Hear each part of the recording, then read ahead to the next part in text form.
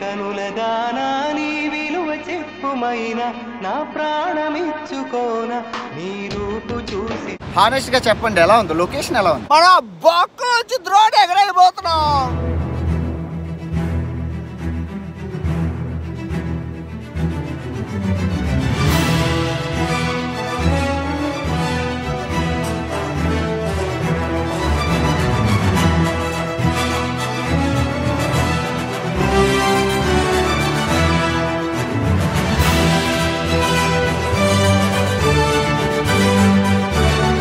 Hi.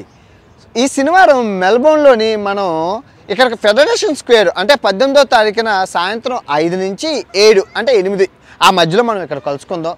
Tram ఉన్నది and తర్వాత local train ఉన్నది అండ్ బస్సులు ఉన్నాయి. కార్ పార్కింగ్కి చాలా ఇబ్బంది. అంటే ఆ మూల నా కోసం కార్ పార్కింగ్ ఉంది ఒక ఫోర్ హండ్రెడ్ మీటర్ దూరంలోనే. అది కూడా పెయిడే ఉంటుంది. కొంచెం దయచేసి రండి ఎప్పుడు చెప్పినట్లే మీ పప్పులు మీ వాటర్ బాటిల్ అన్నీ మీవే. మీరు నాకేం తేవద్దు మేము నీకేమి ఇవ్వను. ఓకే? మర్చిపోకండి. సాయంత్రం ఐదు నుంచి ఏడు వరకు ఈ federation square Melbourne okay? Good evening from Sydney అందరూ ఎలా ఉన్నారు? ఏంటి లగేజ్ ఎత్తుకున్న వేరే దేశం వెళ్తామంటే లేదండి. సిడ్నీలో దండయాత్ర అయిపోయింది. సిడ్నీ వదిలేసాం సిడ్నీ చూసేసాం. ఈ ఆస్ట్రేలియా రాజధాని క్యాన్బెర్రాని చూసేసాం. ఇప్పుడు మనం మెల్బోర్న్ వెళ్ళిపోతున్నాం. మెల్బోర్న్ ఇక్కడి నుంచి వెయ్యి కిలోమీటర్లు ఉంది. బస్సుకైనా ఒకే రేటు. కొంచెం తక్కువ కానీ మనం వెయ్యి కిలోమీటర్లు వెళ్ళాలి పన్నెండు గంటలు. అండ్ ట్రైన్ కూడా అదే రేట్ ఉంది. ఫ్లైట్ కూడా అదే రేట్ ఉంది. ఫ్లైట్ అదే రేట్ ఎప్పుడు ఉంది అర్ధరాత్రులు ఉంది. నేను పొద్దునంతా రోడ్ల మీద గట్టా తీ- కూర్చొని రాత్రి మాత్రమే ఆ- bus train rate bus rate ఉంది. అంటే నాలుగు వేల ఐదు వందలు ఉంది ఇక్కడ నుంచి.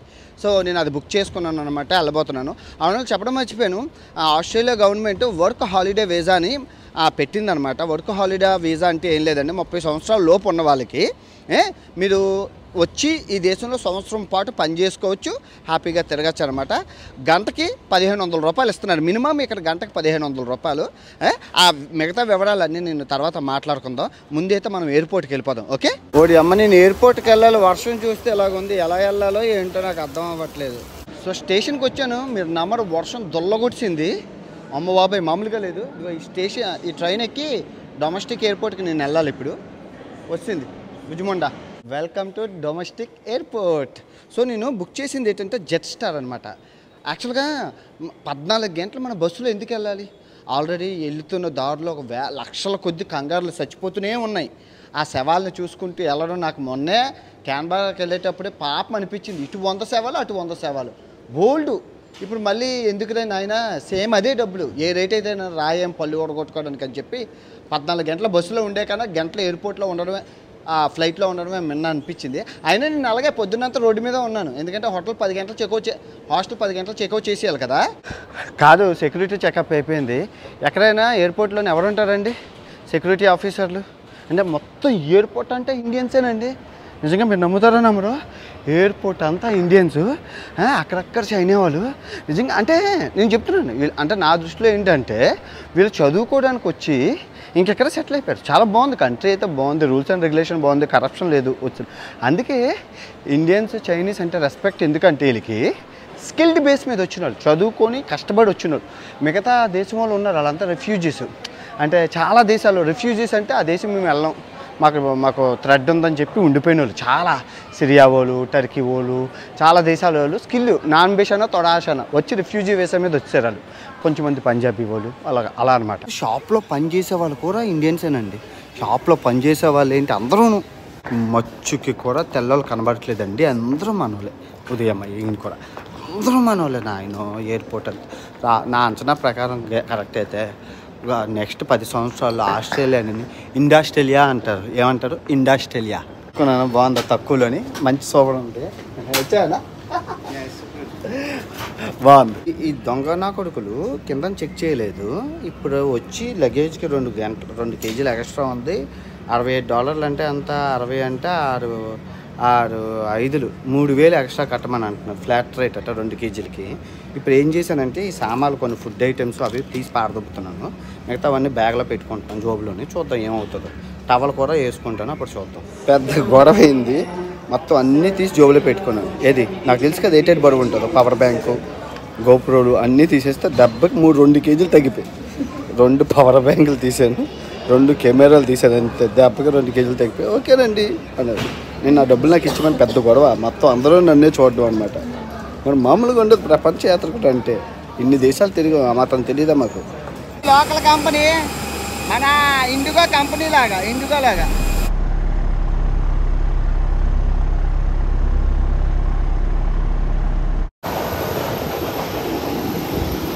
వచ్చింది మన లగేజ్ వచ్చింది వచ్చింది వచ్చింది. ఎప్పుడు మనం భయపడకూడదు.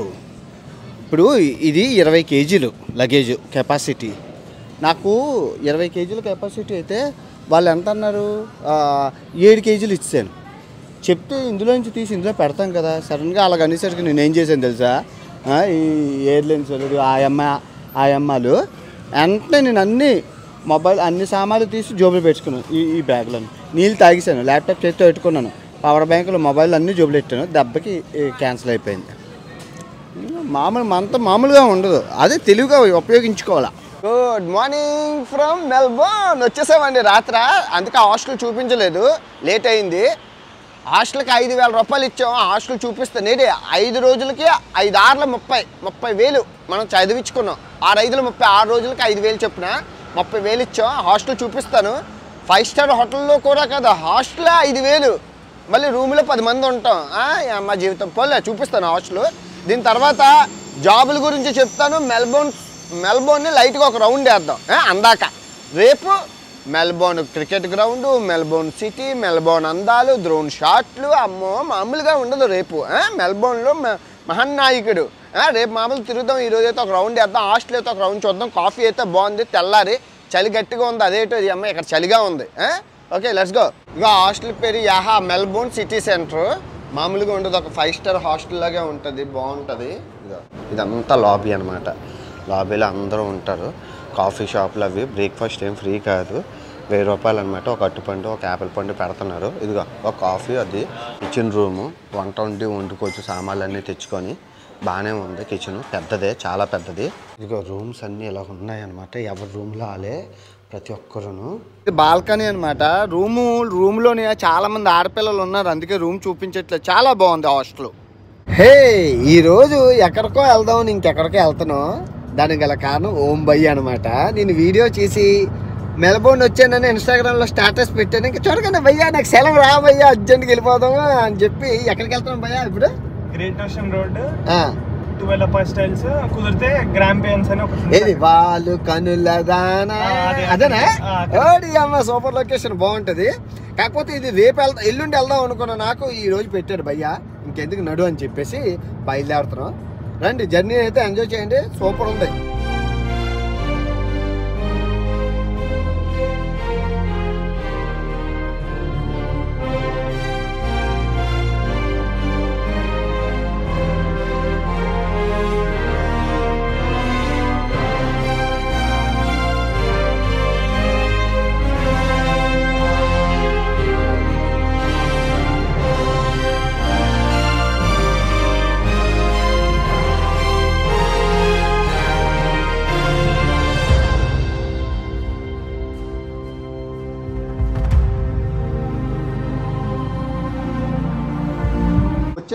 అనమాట. ఇక్కడ నుంచి మొత్తం లైన్గా వాషన్ దగ్గర నుంచి మంచి వ్యూస్ ఉంటాయి. డ్రోన్ ఎగరేయకూడదు హెలికాప్టర్ జోన్ ఇది చూద్దాం ఏమైతే అవుతుందో.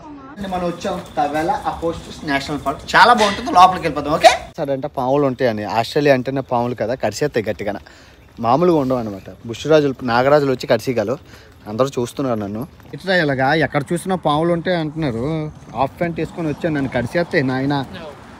ఏటంటే గెంతడం ఇరుక్కు. పాములు ఇరుక్కు ద్రోణు ఇరుక్కు కుక్కలు ఇరుక్కు. లొకేషన్ మామూలుగా లేదు. చూపిస్తాను చూసి. ఎంజాయ్ చేయండి ఓకే మా లైకులు. లొకేషన్కి లైకులు కొట్టాలి.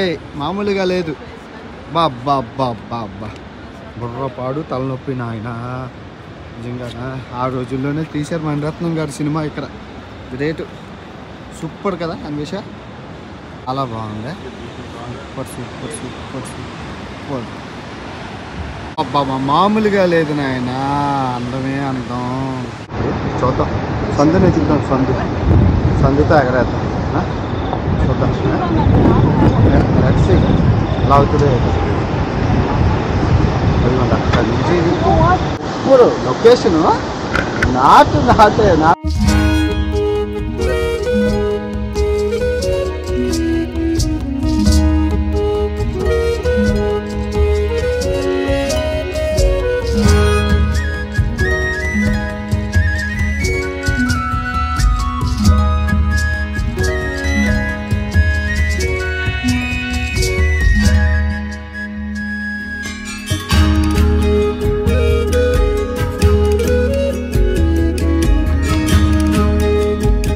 గా చెప్పండి ఎలా ఉంది? లొకేషన్ ఎలా ఉంది? మామూలుగా లేదు కదా. సూపర్ మామూలుగా లేదు. ఈ అన్ని ప్లేస్లు మనం కవర్ చేయాలి నీట్గా స్కూటరా ఆటో తెలియకుండా ఉంది?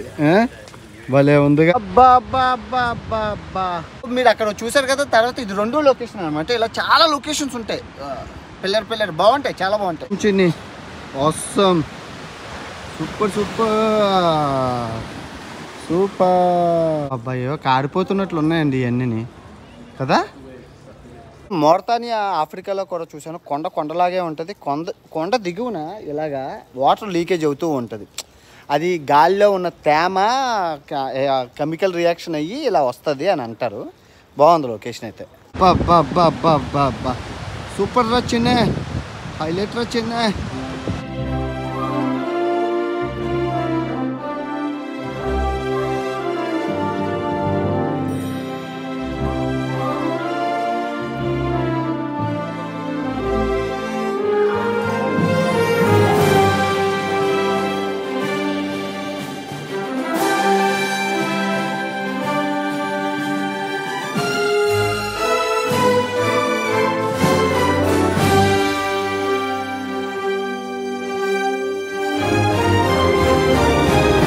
ప్రపంచ యాత్రకు డ్రోన్ అల్బర్ట్రోన్ అయితే మన ఓంకార్ డ్రోన్ మెగట్రోన్ అని పేరు పెట్టాను అనమాట మెగట్రోన్. దీనికి ఉంది డ్రోన్. ఇష్టం అంట సరదా. ఏం సరదాగా కొనుక్కున్నావా? Super super. ఎంజాయ్ అంతా లైమ్ స్టోన్ వాటర్ వల్ల ఇలాగ అయింది. మీరు చూసుకుంటే పౌడర్ మెత్తగా ఉంది. ఇదిగో పౌడర్ పిండి పిండిగా ఉంది. ఎప్పుడు పడిపోతుందో తెలియదు బిల్డింగ్ అంత డెలికేట్గా ఉంది. చూసారా? అద్భుతమైన ప్లేస్కి వచ్చాము. లాస్ట్ ప్లేస్కి వచ్చాం. అదిగోండి ఆ బొక్కలో నుంచి ఇప్పుడు డ్రోన్ ఎగరేస్తున్నాం. చూ- సూపర్ ఉంది. చూడడానికి అయితే సూపర్ ఉంది.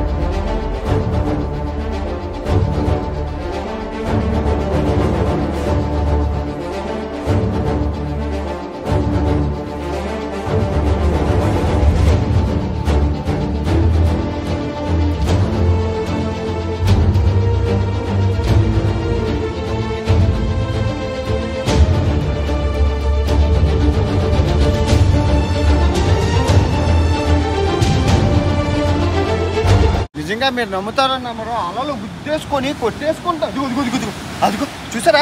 నిజంగా కొట్టేసుకుంటున్నాయి. ఓకే? ఈ లొకేషన్ చూసేసి అలలు కొట్టుకోవడం చూసేసి మన ఇంటికి వెళ్ళిపోతాం ఇంకా లైట్ ఫెయిల్యూర్ అవుతుంది ఓకే? చాలా మూడు వందల రెండు వందల యాభై కిలోమీటర్లు బయలుదేరాల. అబ్బో అలలు చూడండి. ఓడి అమ్మో కొట్టేసుకుంటున్నాయి. అలలు చూడండి. ఓ దీని తర్వాత వెనక్కి వెళ్ళిపోవడమే కదా. నిజంగా అన్ని లొకేషన్స్ సూపర్ వచ్చాయి. థ్యాంక్ యూ ఓంకార్ భయ్యకి చెప్పాలి భయ్య. థ్యాంక్ యూ సో మచ్ మంచి లొకేషన్ తీసుకొచ్చి ఎక్కడికో వెళ్ళాల్సిన ఉన్నాయి నన్ను ఎక్కడికో తీసుకొచ్చు ఇప్పుడు తక్షణ కర్తవ్యం మనం డైరెక్ట్ గానే మెల్బోర్న్కి వెళ్ళిపోవాలి. ఆల్మోస్ట్ త్రీ అవర్స్ జర్నీ చూపిస్తుంది. రెండు వందల రెండు వందల యాభై కిలోమీటర్లు మూడు గంటల జర్నీ లెట్స్ గో మంచి బిర్యానీకి వెళ్దాం భయ్య. తొలగొడేద్దాం okay let's go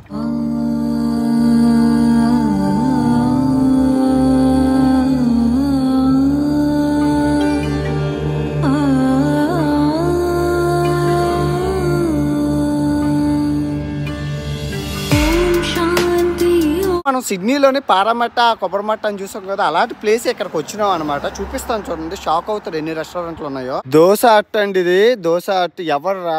Indian multi cuisine అట. జాతర ఇది మొత్తం జాతర ఇక్కడ బిర్యానీ అట. హైదరాబాద్ బొమ్మ ఉంది బాబా? హైదరాబాద్ బిర్యానీ మామూలుగా ఉండదట కుర్రోడు అంటున్నాడు. సూపర్ మార్కెట్ పెట్టాడేటమ్మా ఇంకా ఎవరు పెట్టలేదు అనుకుంటున్నా. మార్కెట్ సూపర్ మార్కెట్ ఉంది అయితే ఇక్కడ. పువ్వుల దాంట్లో అమ్మేస్తుండ్రు పువ్వులు. ఆవర్చి దగ్గరికి వచ్చాను. స్మెల్ అయితే అక్కడ బొక్కలోకి వచ్చేస్తుంది. చూద్దాం లోపలికి వెళ్ళి బొక్కల బిర్యానీ తిని మొత్తం ఊడ్చేద్దాం? మామూలుగా లేదు బిర్యానీ. వచ్చింది మన దగ్గరికి దమ్ బిర్యానీ. నోరు ఊడిపోతుంది బాగా వచ్చి ఫ్లేవర్స్ ఉన్నాయో లేదో చూసి చెప్దాం.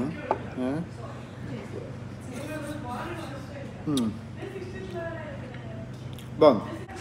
నాటుకోడి. సూపర్. బిర్యానీ తిన్నాక మంచి పాన్ బాగుంటుంది. ఇదిగో చాయ్ అండ్ దోశ రెస్టారెంట్లో పాన్ అమ్ముతున్నాడు మెటాకిల్లే. సూపర్. ఎలా ఉందండి ఈరోజు వీడియో? బాగుంది కదా?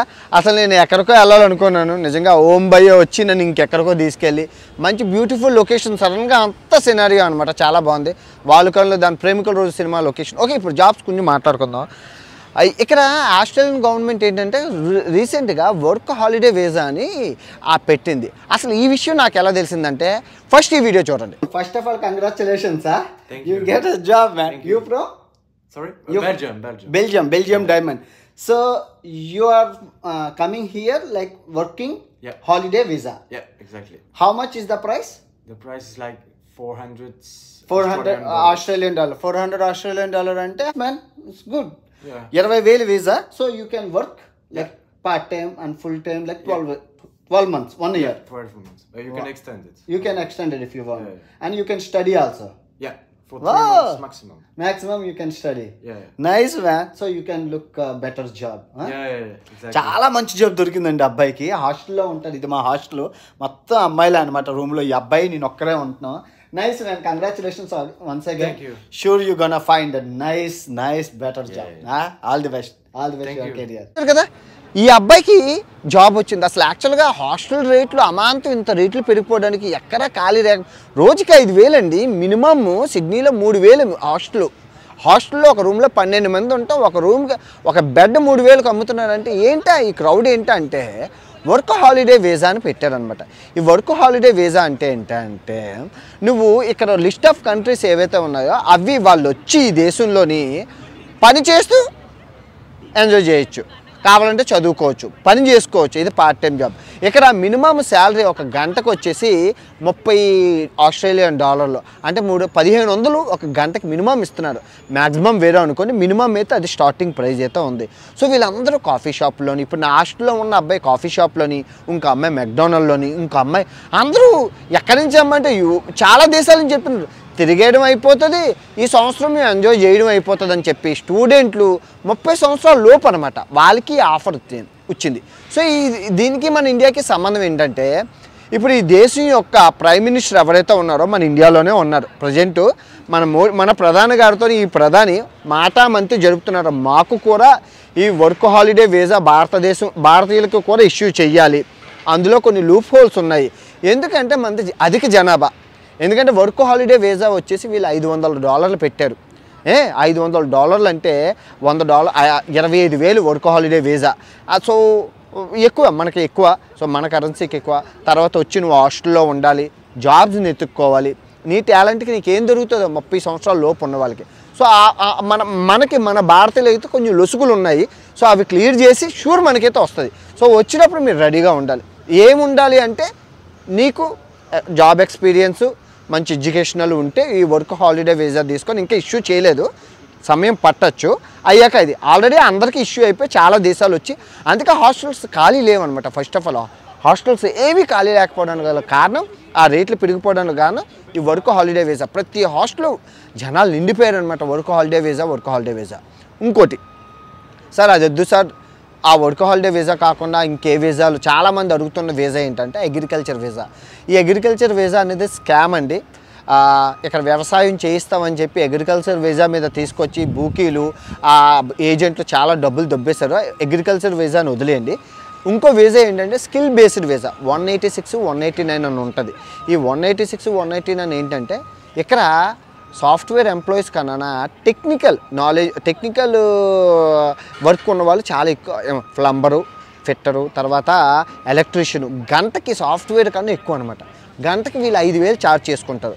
ఈ కాఫీ షాపులో గంట పచ్చేసిన వాళ్ళు గంటకి ఆ రెండు వేల రూపాయలు అయితే వీళ్ళు ఐదు వేలు గంటకి. సో చూసుకొని ఎంత డిమాండ్ అంటే సో అదేంటంటే మీరు ఇండియాలో ఐటీఐ చేసి మంచి గుడ్ ఎక్స్పీరియన్స్ ఉండి ఆ ఎక్స్పీరియన్స్ ఉండి ఇక్కడ కంపెనీలతో మీరు ఇంటర్వ్యూ పాస్ అయ్యి అటెండ్ అయితే వాళ్ళ స్కైప్లో ఇంటర్వ్యూలు జరిగి తర్వాత మీకు one eighty six one eighty nine ఇష్యూలు visa చేస్తే అప్పుడు ఆ వీసా తీసుకొని మీరు ఇక్కడికి రావచ్చు. అది. ఇంకో రెండోది ఏంటి అంటే ఆ వీసాల మీద వర్క్ హాలిడే వీసా మీద.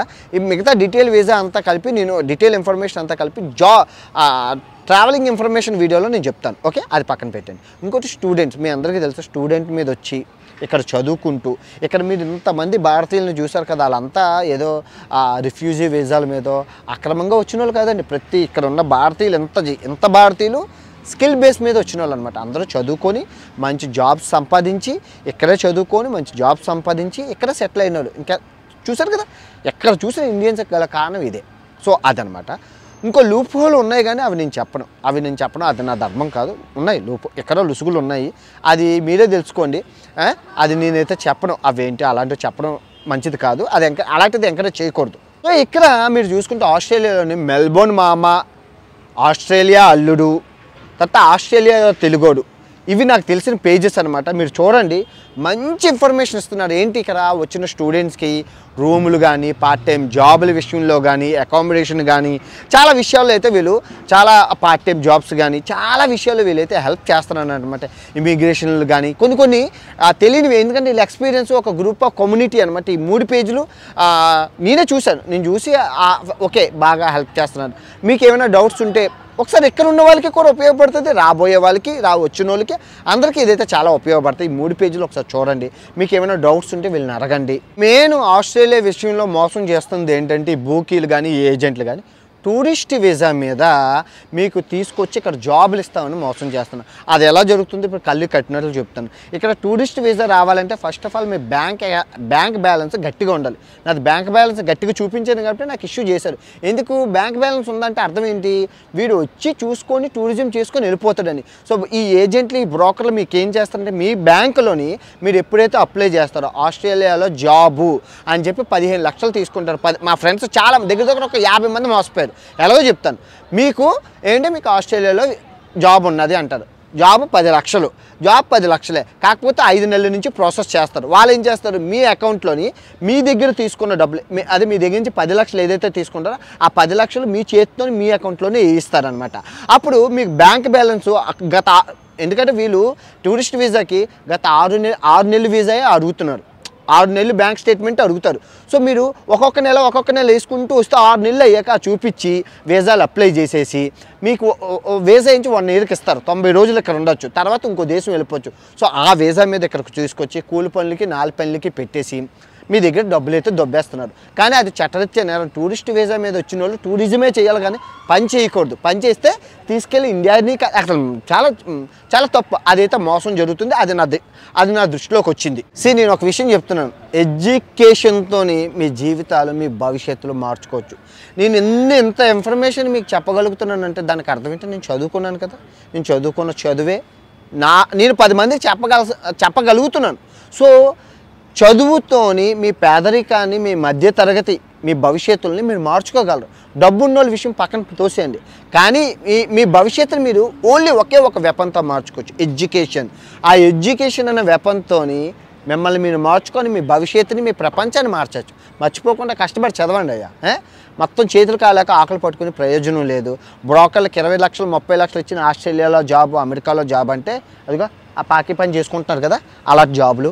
లేదంటే ఆ డస్ట్బిన్ క్లీన్ చేసే జాబ్లో అంటే అవి నీ డిగ్నిటీ ఆఫ్ లేబరే నేను చెప్పట్లేదు. నేను కాదనట్లేదు. కానీ ఇంక ఇంకా ఏది ముప్పై యాభై లక్షలు ఇస్తేనే కానీ అవి దొరకట్లేదు. ఆ వాటికి కూడా డిమాండ్ ఉంది. అది నేను చెప్తున్నాను.